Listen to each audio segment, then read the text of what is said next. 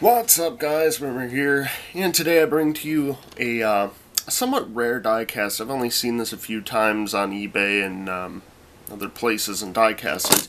I never, actually I've never seen one on Facebook for sale, which is a bit weird, but, you know, that just goes to show uh, how, not how valuable it is, but how bad people want to keep it. Also because this could be used as Bryan Clauson so that's probably another reason why.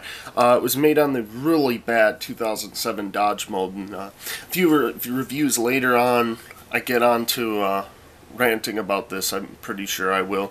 But uh, it's the 2008 uh, Dario Franchitti Fastenal Dodge. Now, this diecast is released only in the uh, Lionel Gold Series line and it was released at a time where they were cracking down on all of these cars so or these kind of cars so these are actually very um, very obscure uh, to find so um, like I said, this could be used as a Bryan Clauson car too. As a, matter of fact, Ricky Stenhouse Jr. actually drove a paint scheme similar to this in Bristol in 2016 in the fall race, where he finished second to Kevin Harvick.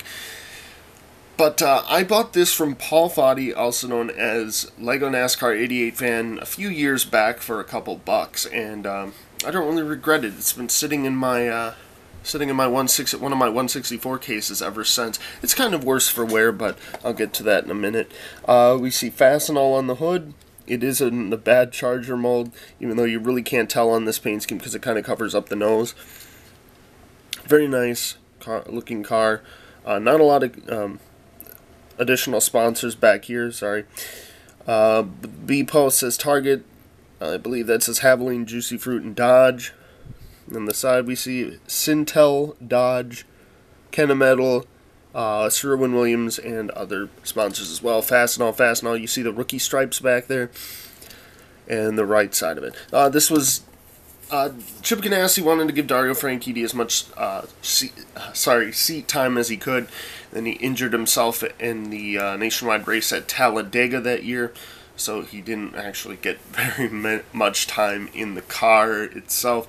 So um, yeah, this was part of that failed campaign. They did make one Cup car for him in 164 scale. Um, that was the uh, Hartford Dodge and uh, I believe that was the only COT. Wait, no, somebody on Instagram showed me a. They bought me a.